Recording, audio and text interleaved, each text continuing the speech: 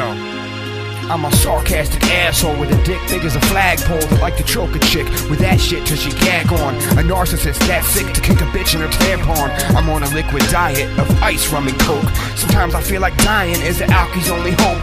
Man, I'm sick and tired, so called life is a joke. And man, I'm sick of trying, being let down by hope.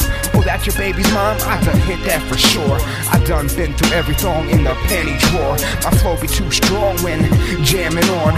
Cause when the beat come on, be like, but that, that, that. When I start to speak on it, come out just like that. And I know I get off topic with shit just like that. But it crap out my subconscious, man, it just came back. And I write to you in fevers of severe drunkenness. Snap out of a blackout with like 20 tracks out. Sometimes I'm feeling like I ain't got no feelings. There's various levels of drunken shots I'm feeling. But I keep conversations locked away in my subconscious. So I'm never in disarray when looking for words to rhyme with.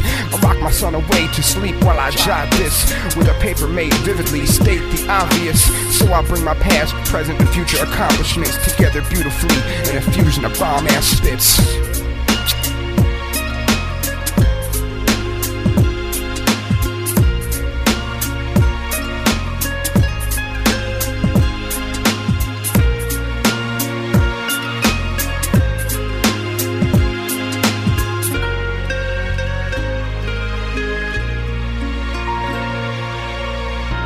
Fear you will have to deal with this matter in the harshest possible way.